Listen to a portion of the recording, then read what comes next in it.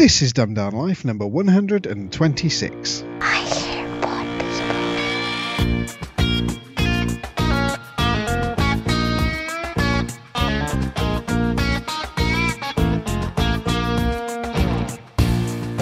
And welcome to the annual recording of the Dumbed Down Life. Hello, Lance. Hi, Darren. How are you?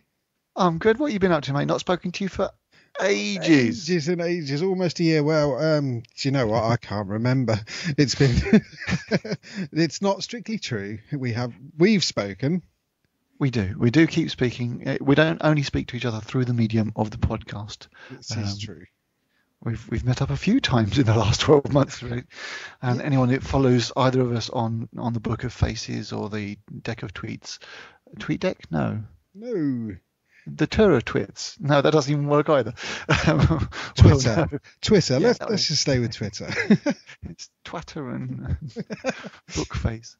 Um, yeah, we'll know that we've been doing um, various walks around the country, or mainly up in Yorkshire. In fact, just the one walk. Should we start again? no, no, no, no, no. We've done two walks up in Yorkshire. We've done two walks up in Yorkshire, but we also did. I mean, since the last show, we also did the Brecon Beacons, didn't we? We did, yes. believe that's your photo on your Google Plus profile, isn't it? Under the waterfall. Yes, that's right. Yep. Um, I do try to sort of standardize my profile pictures and everything across all of the different um, social mediums, and there's always one I forget. So at the moment, I've got the um, the one of the pictures from uh, Pen-y-ghent as my Facebook picture, Yes. but then the Google Plus one's different. But then who sees Google Plus anyway? uh, me, I use it more than I do Facebook. I, I think it's getting a bit of a resurgence. Well, I, I kind of use that one for communities um, and Facebook for chatting to people. I think that's just the way it's fallen. With, with me, I use it for the same way as I shared my photographs with you um, from from this weekend. The, the the photographs are all shared up onto Google Plus automatically, and then if I want to share them with you, it's just th- there's no brainer. You don't have to upload it to anywhere else. You don't have to. You say, "Here, Lance, here's the photographs that we took over the weekend," and it just works. Um, with Facebook, you don't quite get that, although there's pr- probably. Hmm, I wonder if there is the option to automatically update to Facebook, and would I want to if it does? Hmm, not so sure about that. I must say, just just one thing, one more thing about the walking. Um, having seen the photos you shared with me of me, um, I, I I I really need to lose some weight. To be fair, they're not particularly flattering photographs. They're, they're I mean, not, yeah, are they? I'm sit- Yeah, sitting halfway up a mountain, all sort of scrunched over on the edge of a thing, but Exactly. man, I don't look good. I really don't look good. And to that mind, I'm actually cycling into work tomorrow. Oh, nice. Oh uh, well, um, I'm sorry if the photographs made you feel overweight, but I'm kind of glad that they're making you do something about it. That's like a twisted kind of a compliment. Yeah, it's, Uh, yeah. you know, the, the whole sitting on the edge of a rock like that, I don't think anybody's going to look particularly um, flattering. Unless you're Bear Grylls. I think we can pull it off. but um, that you, you sent me those photographs back saying that they weren't particularly good. But there's just that that one that um, one, was, the, was quite good. uh, the one that was in focus, that was it. Yeah, but uh, as we've said with uh, photography before, you take enough photographs and you're you're bound to find a, a, a decent one. And considering there was only about a dozen at the most, getting that one was um, w- was quite good. Good, yeah. Um, well, talking about rocks and distances and stuff. Um, ten years ago, NASA launched two um, rovers, robots, uh, to Mars. It is ten years. Blimey. Yeah, I know. Opp- opportunity and what was the other? Spirit was the other one, wasn't Spirit, it? yep. Um, now these robots were designed to work for about nine months and drive a total distance of about a kilometre. That's all they'd prep them for. All they'd design them to do. I do. don't know why, but I had the I had the, the number of four kilometres in my head. But but if you say it's a kilometre, then Well, th- that's what I read. You know. okay. Yeah. Yeah. Um, uh, and 10 years later, Opportunity is still going. I, th- I think Spirit died a, a while ago, didn't it? I um, think Spirit. Yeah, Spirit has has, has um, Sort of failed, stopped responding. Yeah. um, but opportunity is still going, um, and going so well, in fact, that it's just broken the. I've got to get the phrasing right for this. Uh, the off-world driving record for distance. It's just done just over 25 miles. Oh wow. 25 miles in 10 years. yeah. so you say 25 miles. Wow, that's pretty impressive. In 10 years. In 10 years. Yeah, yeah. That's, that's, that's, quite slow, really. It, its last last drive of 157 feet um, put it over the uh, the record. How far was that? Re- 147 feet. That's not far, is it? Um, 48 meters. Yeah, it's not particularly far. But the was the previous record held by one of the rover, the moon buggies.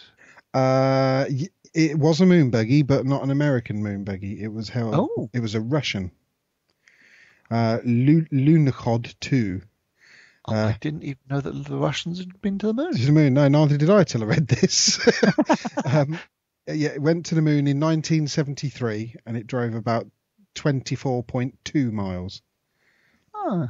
I can imagine that. The, I, I, I, thought it would be a, a lunar buggy that would be that because obviously a manned vehicle they probably did a lot more a lot quicker rather than um, stopping every few feet to test this rock and, and measure that rock but uh, but didn't they also go for a lot shorter period of time because they only had the batteries that they had on them oh yes absolutely so, so they, they couldn't they, go quite as far yeah, and I don't think anybody stayed on the moon for 10 years.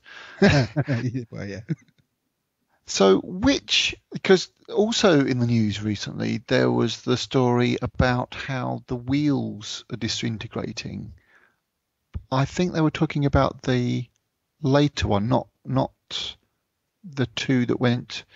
So I'm into all this, and I keep forgetting all the names. Yeah, What's the name of the your Spirit and Opportunity, they're the two that went together, and you've got the latest one that's on there now, haven't you?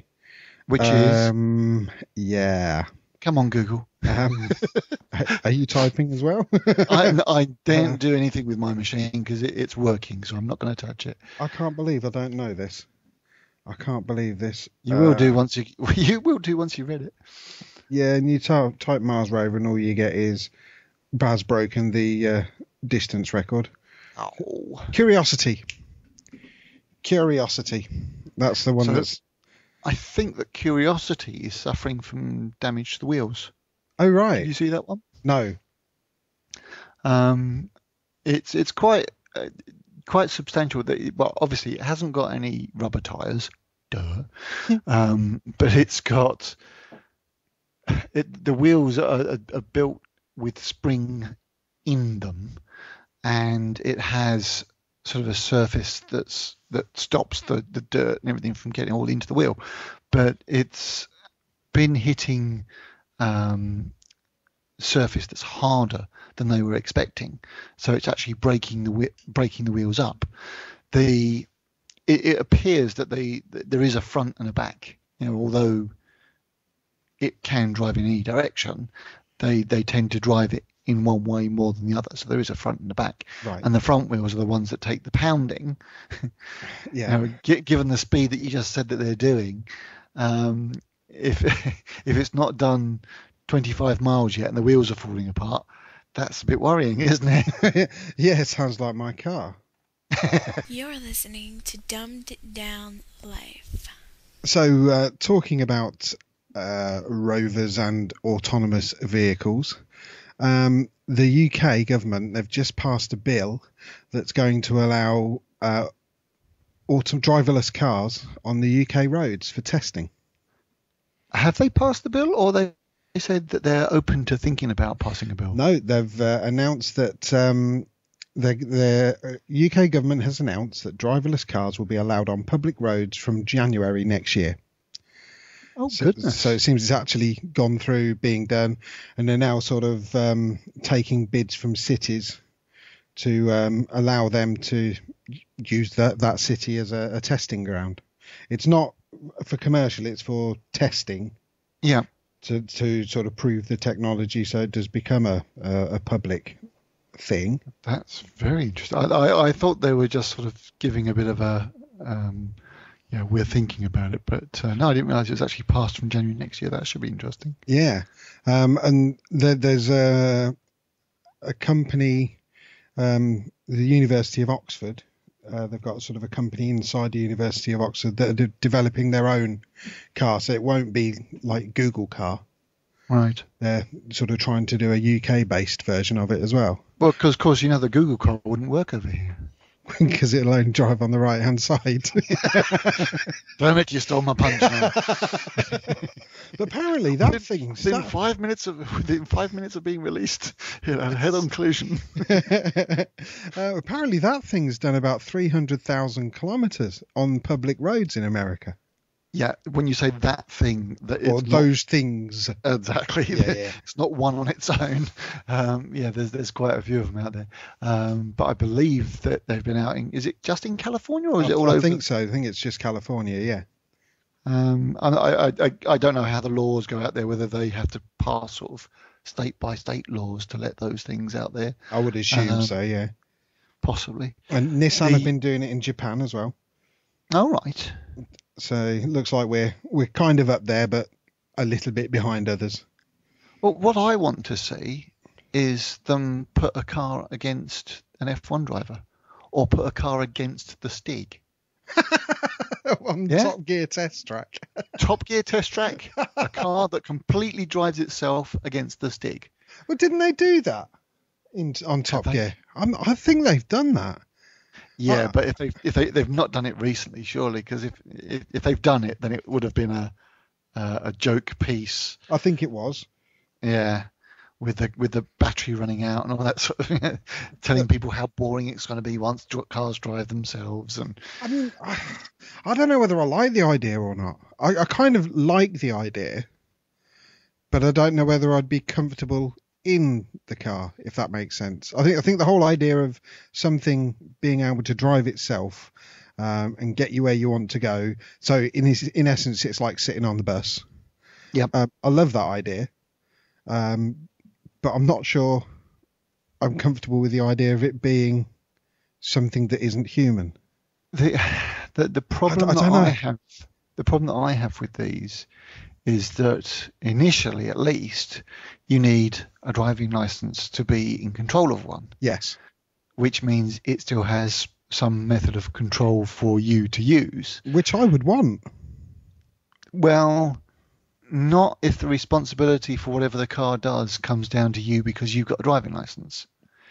If you're riding on the DLR through London, which computer controlled, no driver, and it comes off the rails, you're not responsible for the fact, you know, you didn't have to learn to drive that train just in case the autom- automatic system doesn't work. So the It- car breaks down, the car does something stupid, runs over an old person or a cat or something. Then it's Google that should get sued, not you. Absolutely. Ooh, I'm not so sure. I don't know.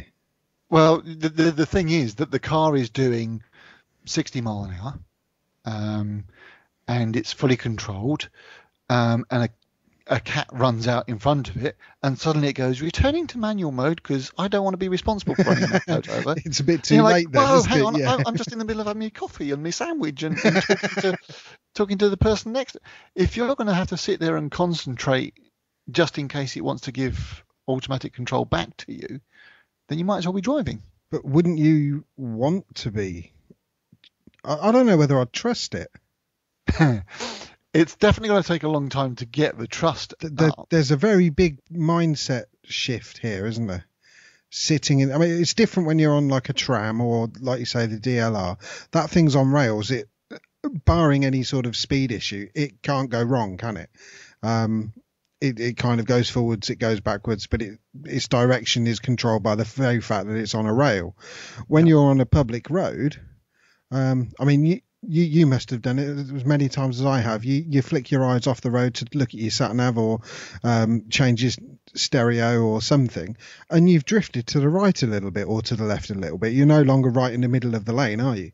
Um, However, the the, the the the electronics in that car are measuring the distance from that curb and your location and the temperature of the spark plugs and the pressure of the tire thousands of times a second, which you can't do. how's it going to do it in snow?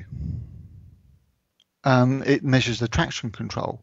Yeah, but how, if if you've got snow on the road and you can't see the lines of the road, how are you going to drive then it? it's going to deem that the uh, that the um, trip is too dangerous, which we won't.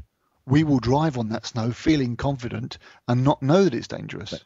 But you, I mean, you could still drive on that road. It's not too dangerous. You just have to If if, if the road, if you can drive on the road, then you can, you personally can clearly see clear enough, and so can the the sat nav. So can the the, the, the car.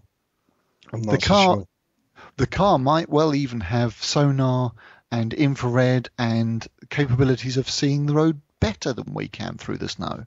Mm, I'm not so sure. I don't know. I, I, I like the idea, and I'd love to see it in action, but I just don't know whether I'd be comfortable sitting in the car. I'm, a- I'm, Have- a, have you I'm a bad had- passenger at the best of times. I don't. I, Yeah. I, I am. I, I'm. I'm one of those people that I don't know if you noticed when you drove me up to Yorkshire uh, at the weekend, but I'm You one of these people. That. I, I hit the brakes. I No, brake. didn't notice that. Didn't notice that. I do. I, I, I, yeah. So when I'm doing that, if a, another person is driving, Christ knows what I'd be like when a computer's doing it. Well, we've got. Well, I say we. I'm not. I think that in our lifetimes we will see some of these semi-automatic vehicles. Um, we've already seen the ones where um, the the braking takes over from you. So if you're going back to what you were saying earlier, if you're concentrating on something that you shouldn't do, and you drift to to the edge of the road, then there are already systems that will break the and, slow you down to a stop. Yeah. Uh, or if you're about also- to if you're about to hit the vehicle in front, it will slow you down. There's nothing that will do the opposite. It'll, it'll slow you down, but it won't speed you back um, up. speed up. Well, I mean, there is. I mean, I, I've, I'm, I'm a big user of cruise control. Yeah. Um, I love that thing, especially when I'm driving at the motorway. Um, but then, and there's also some of the sort of more expensive cars. They have kind of a, a, a radar on them, don't they? Where Yes. you can set your speed at 70 miles an hour. You're cruising at the motorway, and it will keep you at that speed. If, however, you catch up with the car in front, it will slow you down to match the speed of the car in front. Yeah. Yeah. And then when he pulls out out the way, or you decide to go to overtake, it then pushes you back up to the limit you've set. And I'm kind of comfortable with that. Well, what we've I think got it's there, a though- steering thing. Well, what we've got there is the um, the tolerances. So um, the the car manufacturers have set a particular tolerance, expecting the car in front to um, brake suddenly. So what, whatever um, the national stopping distances are, then I'm pretty certain that that's what the automatic braking systems are calibrated to if not greater. if not a, a greater distance. Yeah. Um, so the, the the first step will be a mixture of the cars which have got fully automatic and standard cars that aren't haven't got any kind of automation in them, and those cars that have got driver capabilities that have also got communications options in them. So you're driving your slightly better than fully manual car. That talks to the other vehicles around it to let it know to let the other vehicles know what's going on.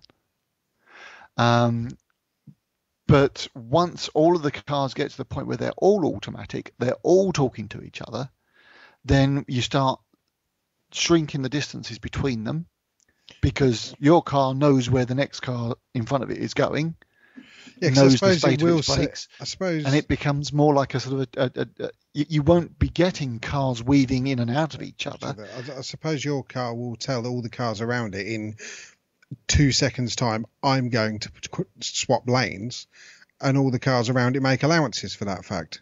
That sort of thing. Yeah, But we've got a stage before that where there's still drivers on the road who have got manual cars. because you, you're that going to have the mixture of all, aren't you? Yeah. That's going to be the, the, the difficult bit to go around, unless they go some sort of direction as to have either lanes I can or see that. entire motorways that are automatic cars only. I, I now can the see idea that. of like like we did at the weekend, if you're going up to Yorkshire and you're going to be spending a lot of time on the M6 or the M40 or, or the M1 or whatever, then you can pull out to the, the fifth lane um, and stick your car on fully automatic, and It's it stays there. So, like, you've got the M4 bus lane, you could have an M1 automatic car lane. I think the M4 bus lane's gone. Is it? I think so. Yeah. But really, But yeah, you, you, you'd have But an that M1. kind of a dedicated lane. I, I guess that's where they're going to go, and you probably wouldn't be able to use it in built-up areas and stuff to, initially. initially, yeah. Um, It's, it's going to be other- a gradual introduction, I suppose, isn't it? Yeah, and, and the other thing that I'd be interested to find out, and I doubt whether, again, this I very much doubt will be within our lifetime, is whether you end up owning an automatic car or the fact that if you need to go somewhere, you simply press the um, the call button on your app on your phone, and the nearest available charged automatic car turns up on your doorstep. Now that would that would be good. and and you don't have a a concept of owning a car. You don't have a concept of running that car. Um, you simply pay for the use of that car. You just call Johnny Cab. Pretty much, yeah. Uh, and if the first automatic car that I go in doesn't have a Johnny Cab as the driver, I'm going to be most upset. Okay, time for a song then. Um, this is Tamara Laurel and Sweet.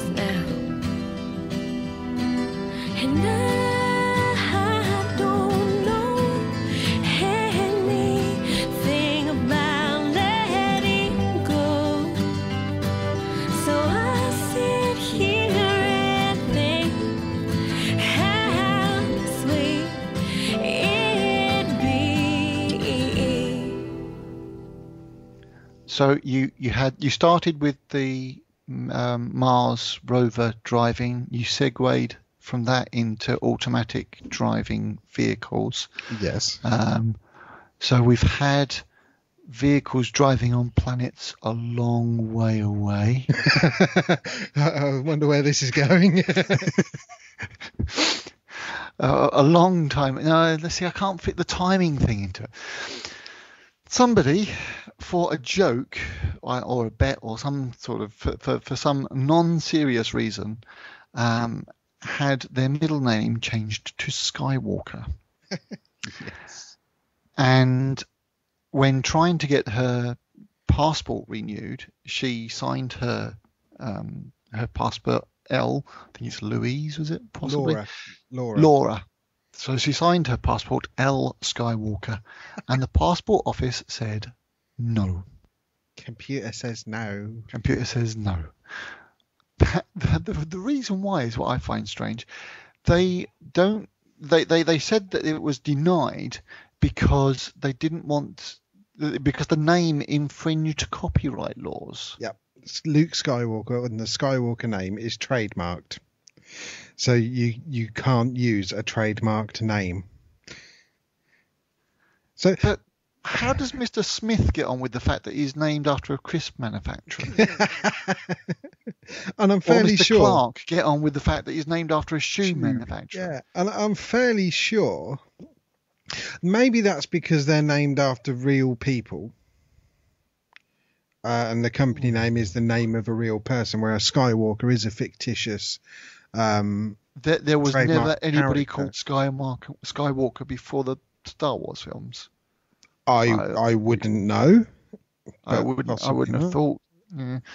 Um, the other thing that they're that being typically British, they've said they don't want to make a mockery of the passport system, you know, because everybody, you know, they they they just everybody then would be changing their name to something silly so that it looks funny on their on their passport. It's like, really? Don't think so. So no. Um, pl- plus, I Um, mean, the, the the woman in question said she's had no problems with her driving license. The driving, Driving license, licence. Has, has got it on. Well, Yeah. that's as, as official Bank a piece. details. Yeah. And they're as official pieces of identification as much as the passport is. Yep, yep. Um, but yeah, perhaps it was the um, perhaps it was the buns on the side of her head in the photograph that really upset them. Well, with holidays and so forth coming up over the next few weeks, it being the summer break and all, I'm not sure when the next recording is actually going to be because I think you've got some things planned and I've certainly got some things planned. Yes. Um, one of those things would actually, because the we- the one we're going to together, not not week week, you know what I mean.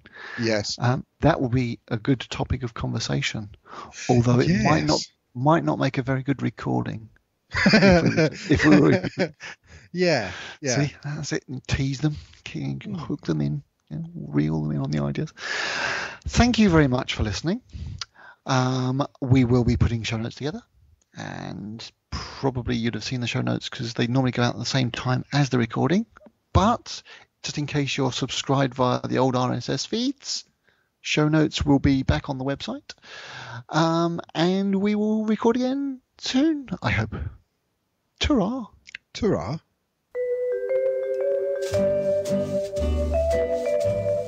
You can call the Dumbed Down Life crew on 07092 274 759. You can follow us on Twitter. Our account name is Dumb Down Life.